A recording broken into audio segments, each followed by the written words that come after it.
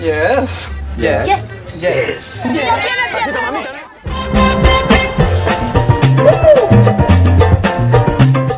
no nos presta un bachiller de eso para que nos diga que sí, que no se puede hacer aquí en este país. sé cómo son las cosas en su país, pero aquí en los Estados Unidos las leyes son para cumplirlas. Ahora sí, a echar escama. Ya estoy debajo de mi camisa. Este viejo pedorro que ustedes ven acá me quería violar. Eso es de verdad. Necesito una opinión objetiva y directa. ¿Crees que estoy gorda? Gabrieli.